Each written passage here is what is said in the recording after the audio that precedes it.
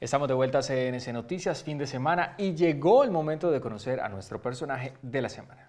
Mire, Jonales, él es un actor y productor de cine y televisión tulueño, que muchas personas no conocen, pero quizás tuvieron la oportunidad de verlo actuando en series como Okidoki, La Madre, entre otras. Pues se trata de César Bravo, quien además es el gerente comercial de Lácteos, el Hato de Tuluá.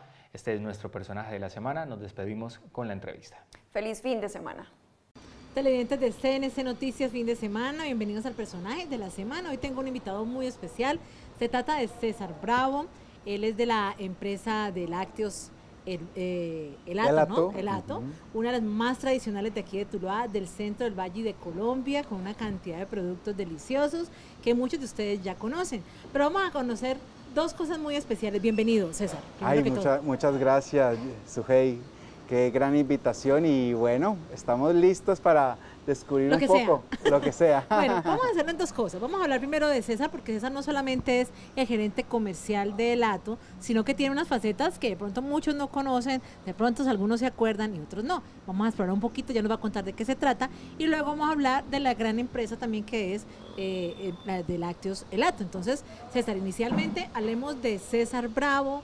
¿Quién es César Bravo? ¿Cuál es su pasión? ¿Qué es lo que más le gusta?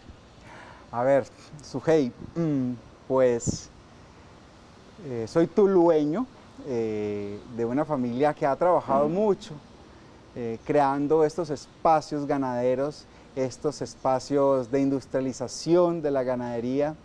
Y estando muy joven, graduado del Salesiano San Juan Bosco, estando muy joven siempre mm, tuve la intención y siempre me llamaba la, la atención, eh, la televisión. Eh, obviamente cuando eh, uno le dice al papá, después de, entregarle el ICFEX, y a propósito saqué una muy buena nota. ¿Cuánto, cuánto? en ese tiempo era, era 326. Muy bien. Muy bien, claro, para una ingeniería. Sí. Y cuando yo le dije, papá, es que yo me quiero, yo quiero estudiar actuación. Entonces los papás como que, ah, actuación. ¿Cómo es que Y eso como que, como que se come, ¿sí? Entonces, pues en ese tiempo tenía una hermana que, que estaba en la Ciudad de México y ella, mm, yo le dije, papá, me encantaría poder eh, aprovechar de que mi hermana está en México y en México, pues que es la meca de la televisión y de las grandes melodramas y telenovelas, eh, México está llena de escuelas de actuación, me encantaría aprovechar e irme, eh, ahora que mi hermana está haciendo la especialización en ginecología, es, eh, ¿sí? obstetricia, ella es la doctora Bravo, Ana Isabel Bravo, que es mi hermana. Bueno, entonces me fui a México y estudié actuación en una academia de un gran actor en México que se llama Manolo Fábregas. Después de que mm, acabé mm, mi estudio allí, me regresé a Colombia, eh, a Bogotá. Entonces empecé a estudiar mm, arte dramático eh, en la escuela, en la escuela de, actuación eh, industrial. Y estando allí, muchos canales, bueno, en ese tiempo eran programadoras, las programadoras iban y buscaban como talentos para ofrecerles cosas muy pequeñitas, eh, pues uno o dos capítulos, para que participaran en la televisión. Eh, la mayoría de gente que estudiaba conmigo era muy teatrera y pues la televisión en esa escuela era como hacer, era como jugarle al demonio, pero yo no le paraba bolas al tema. Un día eh, citaron un, casting en el canal RCN, eh, no sabía ni de qué era, solamente me entregaron un personaje, me entregaron un libreto eh, en RCN y vi que el programa era de un programa infantil que fue muy, en su época, muy conocido, llamado Okidoki. Y era una escena.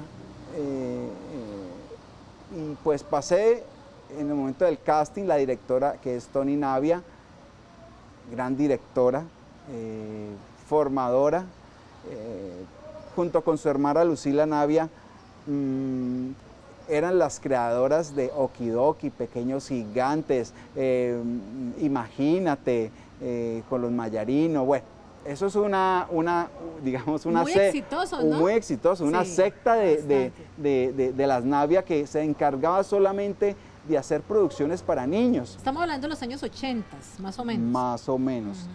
Y entonces empezamos a presentar el casting y al final eh, quedamos una costeña cartagenera y yo. Y esperamos, eran como las ocho y media de la noche de miles de muchachos que pasaron y resulta que pues ya Okidoki, eh, ya los muchachos habían crecido y pues estaban buscando novios para, eh, para, los, para los protagónicos de, en aquel entonces de, Okidoki. Y eh, mm, mi personaje era Juan Carlos.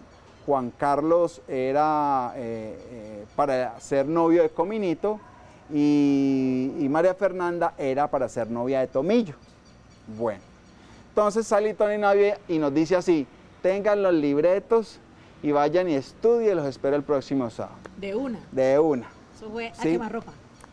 Pues imagínense que mm, integrarse al grupo no fue fácil. Eh, poco a poco pues nos fuimos integrando y allí aprendí muchas cosas. Fue una escuela como también para ellos, una escuela de televisión. Eh, pues que todos éramos muchachos y compartir las cosas más bonitas de mi vida en este programa, eh, inolvidables.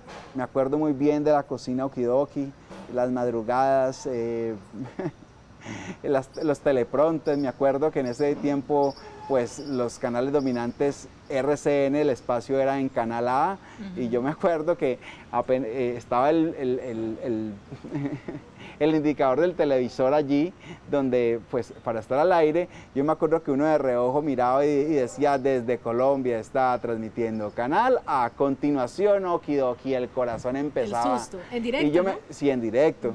Y yo me acuerdo que el coordinador, que era un personaje, decía, bueno, listos, al aire. Bueno, mi primer programa eh, que hice al, al, aire, pues teníamos una ayuda muy grande que era el teleprompter y pues eh, yo creo que me fue muy bien desde el primer día. Bueno, pero espéreme, no me siga contando las historias porque es que me está adelantando mucho y yo quiero devolverme un poquito. Cuando usted decide actuar, decirle a, a su familia que quiere estudiar actuación, usted de todas maneras estudió otra carrera. Sí, no? pero eso ya fue después. O sea, ah, después, primero se dedicó a la actuación. Primero me dediqué a la actuación. ¿Qué estudió usted además de hacer la actuación? Eh, yo soy contador público de la Universidad Javeriana de Bogotá. Contador, ¿y cómo, cómo es usted para después de ser actor, que se exige tanto drama y tanto sentimiento, pasar a los números? ¿O es que también le gustan bastante? Sí, también me gustan. Es, mm, yo creo que pienso que el ser humano... Eh, cuando uno tiene ese, ese, ese don de, de, poder crear diferentes personajes, creo que todos los seres humanos tendemos a, alguna vez a, que nos guste algo, pero creo que todos los seres humanos somos capaces de poder estudiar y capacitarnos en cualquier cosa, en medicina, en, contaduría. Entonces yo miraba eh, eh, la contaduría desde el punto de vista de que mis padres tenían un negocio y que pues eh, tengo, una hermana, tengo una familia de hermanos muy mayores donde ya todos son profesionales y yo veía que faltaba un contador.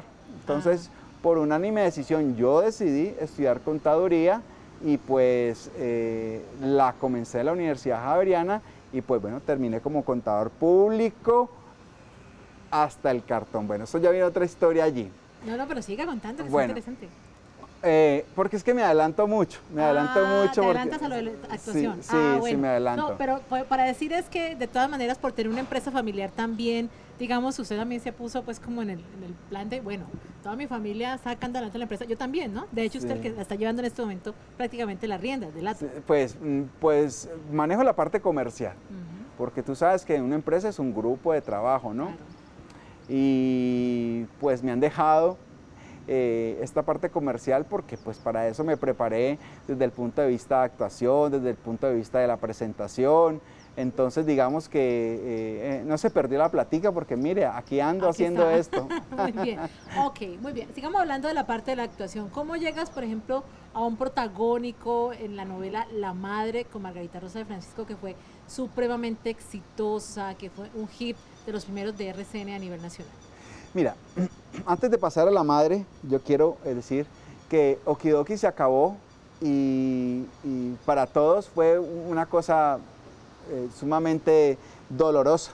¿Por qué se acabó? Yo, yo me acuerdo, se acabó porque eh, habían, habían, eh, ya eran seis años, ya todo el mundo estaba cansado. la, sí, la gente mm, estaba cansada, a veces no cumplían los, los horarios de grabación, bueno, no voy a hablar más porque uno nunca sabe detrás, sí, pero eh, yo me acuerdo que el último libreto, la libretista que la quiero mucho, que se llama Lucila Navia, o más conocida en el mundo de la televisión como Lucas Navia, hermana de Tony Navia, son dos hermanas. Eh, me acuerdo que la última, la última hoja del libreto decía, por fin.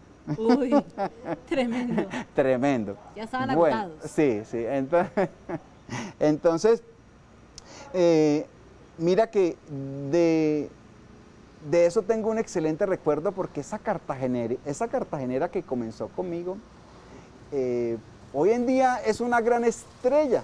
Eh, mm, ella se llama Karen, se llama Karen, Karen Martínez.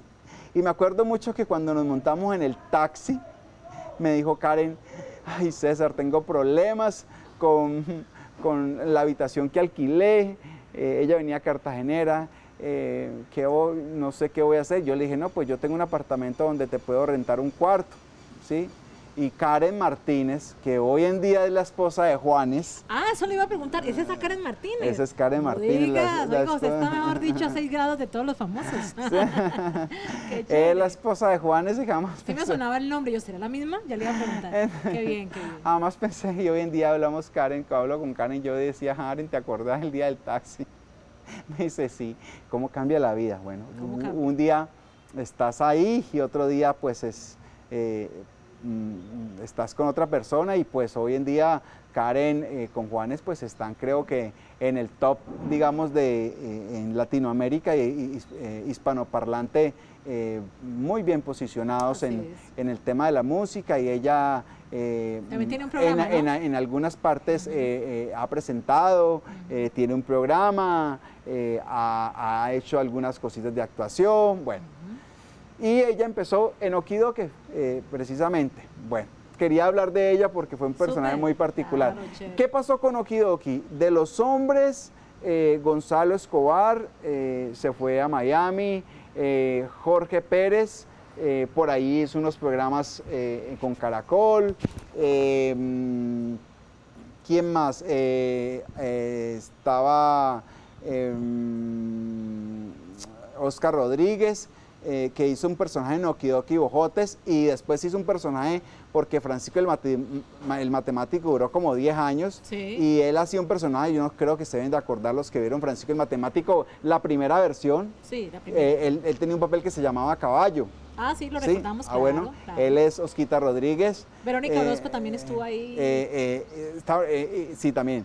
Y Freddy Flores, Freddy Flores que hacía El Piojo, Freddy también ha participado, lo último que participó fue en un programa que era como una peluquería y, era, y había, el peluquero era pues bien, bien, sí, bien caracterizado, caracterizado por, por, su tema de, pues, de, peluquería. Y él era el costeño, yo no sé si te acuerdas, que no me acuerdo bien de la, cómo se llamaba la serie, él era un costeño, ajá, eh, eh, sí, bueno, ese es Freddy Flores. Hoy en día Freddy Flores está haciendo Mm, eh, yo soy Betty la, Fea, Betty la Fea en Nueva York. Ah, eh, está haciendo un papel muy importante allí. Teatro. Y no, no, no, no, no, no, no. Ah, lo están eh, haciendo. con Telemundo. Sí. Sí, ahí está, ahí está Freddy Flores. De las mujeres, creo que pues casi todas triunfaron, porque pues Cecilia Navia se casó con Santiago Alarcón y pues Cecilia ha participado en muchas producciones. Em, Santiago Alarcón pues se inmortalizó con Germán Eselman. Eh, hizo recientemente a Garzón. Eh, hizo recientemente a Garzón, que también, la esposa también actuó también Actuó ahí, de esposa también de, él. mejor dicho, eh, Verónica pues ha protagonizado todas las telenovelas que la última que hizo fue, ah no, ah, no ahorita está haciendo el, el, de, el, de, el del embolador. La Gloria de Lucho. La Gloria de Lucho.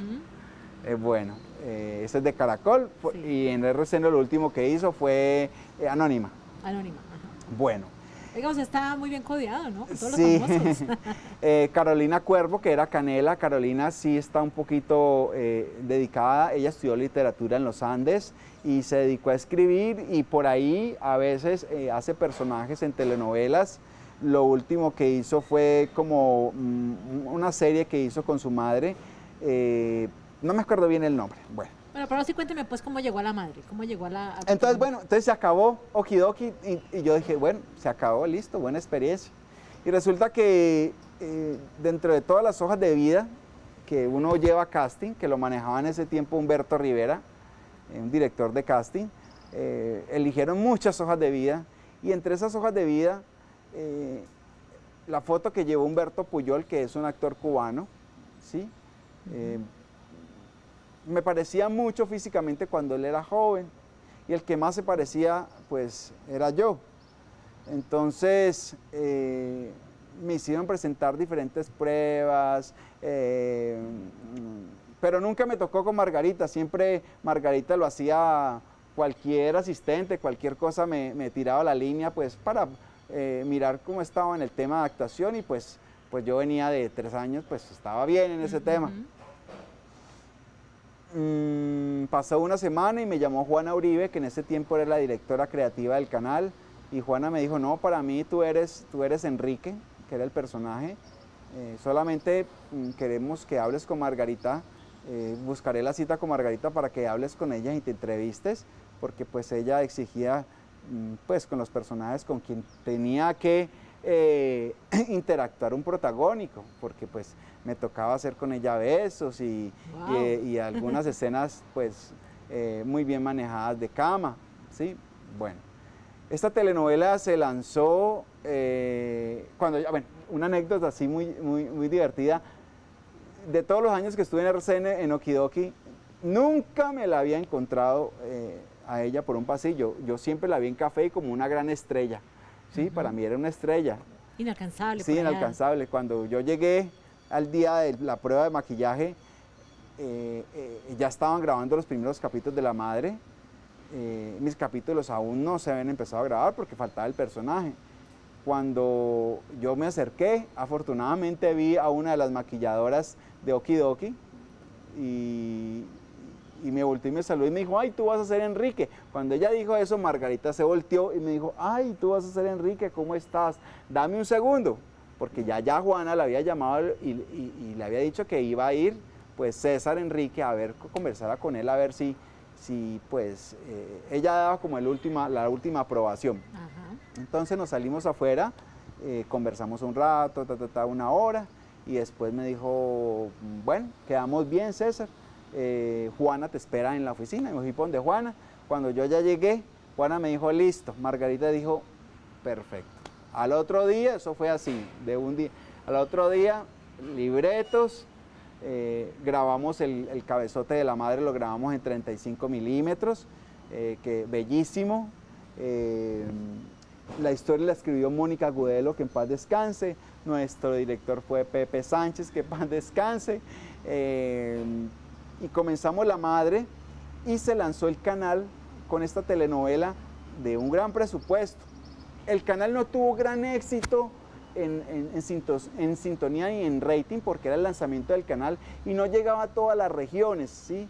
Eh, entonces, eh, pues no tuvo el gran boom de lo que la historia verdaderamente era una historia hermosa, Muy divina, linda. ¿sí? Muy bonita. Eh, y pues Margarita ya venía de hacer café, lo, lo cual decía que las puertas de muchos países eh, con café se abrieron, más o menos 60 países, y en esos 60 países se vendió la madre.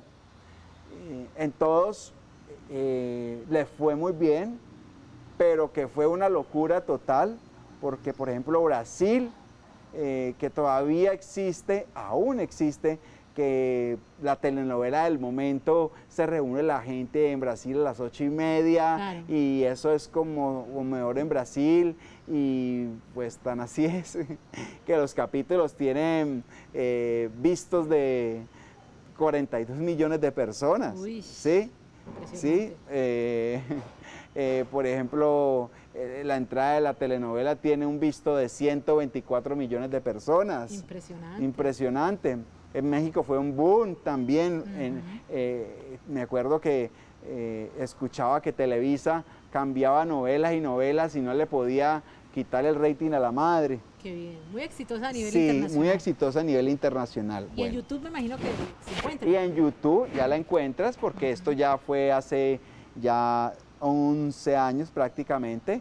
Ya encuentras toda la telenovela en YouTube. Desde Oye, encontramos Okidoki también en YouTube para buscarlo. Claro. Hay que buscarlo, hay que ver a César cuando estaba pollito. Hay 396 capítulos. Uy, qué bien. Por ahí, por ahí tú ya sabes. ¿Qué edad tenía César en esa época? Mm, yo entré a los 21. ¿Okidoki? Okidoki. Ah, ¿Cómo así? Entonces, ¿cuántos años tiene usted? No, no, no, no me, no me ponga a decir eso. Ay, no, pues usted se ve muy joven. Sujei, no, no me diga pues que imagínese. No. Uy, usted se ve muy joven. Sujei, porque cuando... bueno, bueno, sigamos. Sujei, Entonces... yo todavía puedo hacer uno de 28. Sí, sí. Ah, no, no, eso sí, eso sí. No hay problema. La magia de la televisión. Bueno, César, Así es. pero entonces, ¿qué pasó después de la madre? Después de la madre, se acabó la madre y eh, Tony Navia vuelve y me llama eh, mi directora, mi ángel de la guarda, porque prácticamente yo digo que Tony con Tony hacía todo. Tony me dijo, mm, va a haber un proyecto con la DIAN que se llama Alicia en el País de las Mercancías. Sí, también lo recordamos. Sí, claro. eh, y hice un personaje que se llamó Toro. Era un, un personaje que era como tonto eh, y que era divertido, pues dentro de, de tanta cosa eh, extraña que se veía en la DIAN, pues algo de comedia se tenía que dar dentro de la historia. Ese personaje eh, sí encuentra en algunos, eh, eh, si tú buscas Alicia en el, en el, País de las Mercancías, se encuentra uno, dos o tres capítulos donde, porque no la, no, no está, no, no, la subieron toda a, YouTube. algunos, Ah.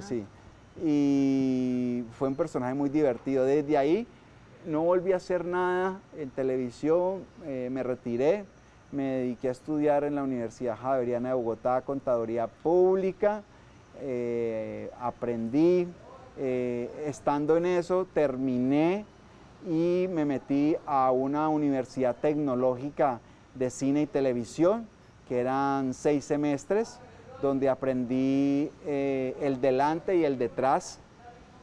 Mm, desde manejar una cámara eh, fotográfica, desde manejar una cámara digital, hasta hacer un cortometraje que fue nuestro, eh, nuestro ¿qué? nuestra tesis de graduación. Grabamos un cortometraje que se, que se llama De Carambola y eh, lo grabamos en 35 milímetros. El grupo era de 8 y más o menos esos 10 minutos nos costaron como 40 millones de pesos Uy. y nosotros teníamos que sacar el dinero porque la universidad no nos patrocinaba eso. Eh, nos tocó sacar a cada uno como de a 6, 7 millones de pesos y, y- y el documental, o bueno, perdón, la, la serie o la pequeña serie que hicimos de 10 minutos de, ca- de Carambola, eh, pues era el tema de grabar ya cine, que pues es otro cuento muy diferente a la televisión. Claro, ¿sí? diferentísimo, así es. Tú sabes que el cine son fotografías en movimiento y sigue siendo fotografías en movimiento y que la definición del cine es muy, muy, muy, muy, eh, eh, pues es algo tan así es que hoy en día todavía en los Oscar se premia por la fotografía, ¿sí? Así es, sí. Eh, y a- a- además que pues hoy en día la tecnología en cámaras, pues hay cámaras digitales que tratan de confundir de que parece cine, ¿sí? Pero, pero sí, eh, cuando yo veo planos eh, muy seguidos, yo digo, no, esto no es cine, esto no es cine porque uno ya aprende a conocer cuando es televisión digital de, de alta pixelación, yo no sé si me estoy equivocando. Eh, y, y bueno, César, Sí. se nos está acabando el tiempo, así muy rápidamente hablemos de qué proyectos hay con el ATO y qué proyectos tiene usted como actor. Bueno, el ATO, eh, como proyectos, eh, tenemos, mm, primero que todo, que todo este portafolio que ustedes ven aquí, desde los majar blancos, los yogures, eh, el kumis, eh, mm, por ahí veo las brevas, ¿sí?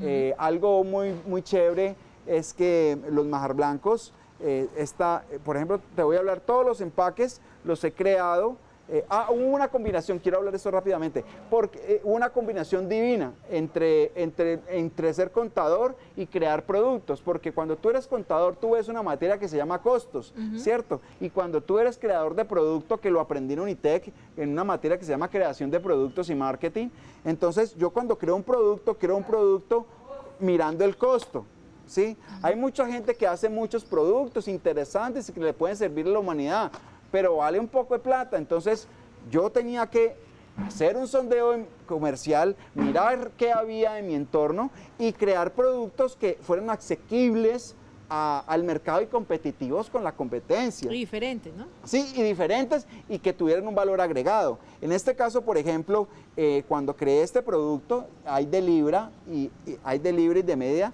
¿sí? Aquí, miremos el de libra. Eh, el INVIMA sacó una ley eh, que el mate estaba en vida de extinción, ¿cierto? Entonces, eh, yo decía, qué rico, eh, uno a veces dice, tú, tú, tienes una fiesta, ¿cierto? De esas que uno dice, el amigo secreto. Bueno, ¿sí? Yo que llevo algo chévere, algo que quede como una princesa, además va a ir fulanita, fulanito, y yo no me voy a aparecer allá como un bombón, o, con una chocolatina, o viene de otra parte, yo quiero quedar como una reina, como un rey. Entonces resulta que yo pensé todas esas personas, yo dije, voy a hacer un majar blanco donde no utilice eh, el mate. no utilice el mate y utilice eh, una tarrina eh, que tenga plástico biodegradable. Esto es un plástico biodegradable que lo, que lo, vende Darnell. Darnell.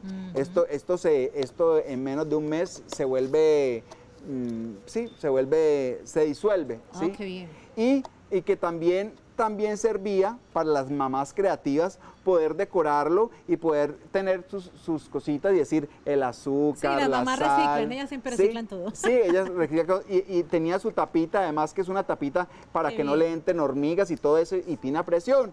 Entonces, siempre quise buscar eso. Primero, porque está en, vía de extinción el, mate. Segundo, esto nos servía para hacer un, portafolio de las mamás para que crearan eh, y el que lo botara pues era biodegradable, ¿sí? Eh, y entonces yo dije, bueno, ya lo creé, ahora voy a hacer una cajita donde vaya el manjar blanco, que sea una cajita lista como para regalar, ¿sí?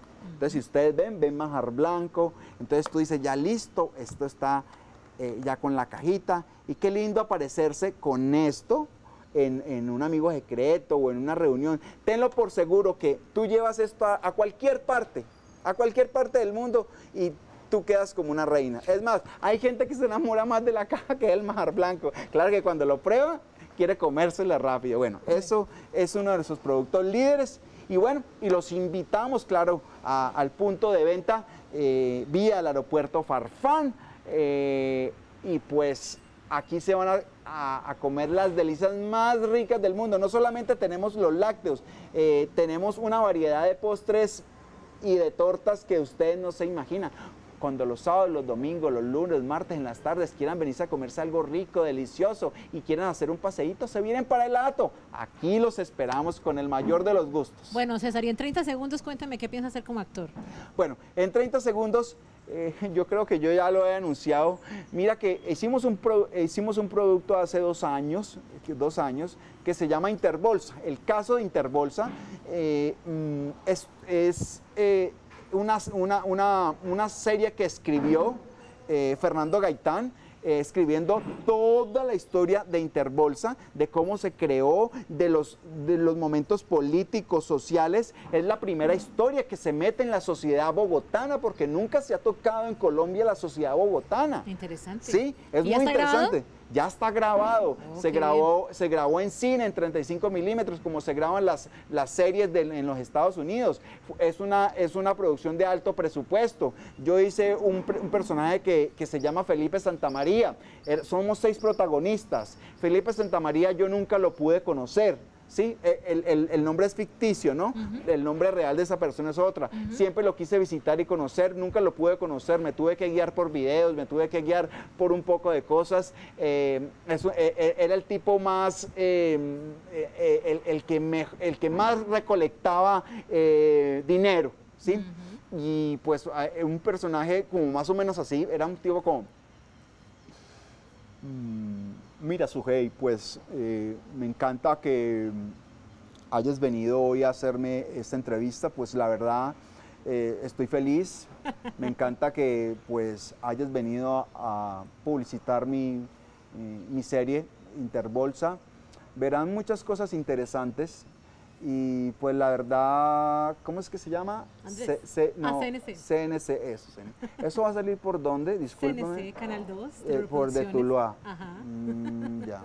Bueno, en Tuluá sé que podrían haber buenos inversores. Bueno, os invito a Tuluá, a Interbolsa, a que se conecten con la serie Interbolsa para el canal RCN y van a conocer mucho del mundo. Y y de Felipe Santamaría.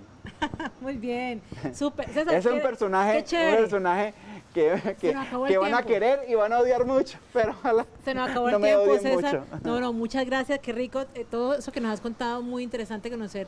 Aparte de una persona dedicada a la parte comercial, toda esa trayectoria de televisión, bagaje y conocimiento del cine también. César, gracias y bueno, gracias por acompañarnos aquí en el personaje de la semana. Ok, muchas gracias, Sujei, por tenerme en cuenta y un saludo a todas las personas que están viendo esta entrevista. Abrazos, abrazos, Dios los bendiga. Así es, muchas gracias a ustedes, quédense con más eh, programación de Teluro Producciones y CNS Noticias. Yo me voy a tomar el cumis de lato. Chao, chao. Gracias.